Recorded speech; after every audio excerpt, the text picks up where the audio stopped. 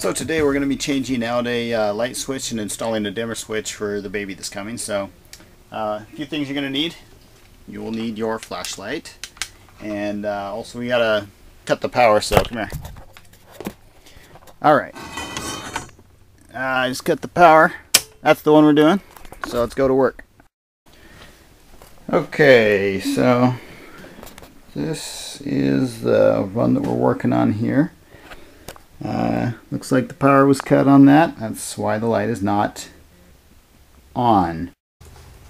Now, there are a lot of ways that you can install this. Uh, it helps if there's someone around. If no one else is around, then you can hold the flashlight, if it's a little one like this, hold it in your arm this way. You got your screwdriver in the other hand. And then all you got to do is...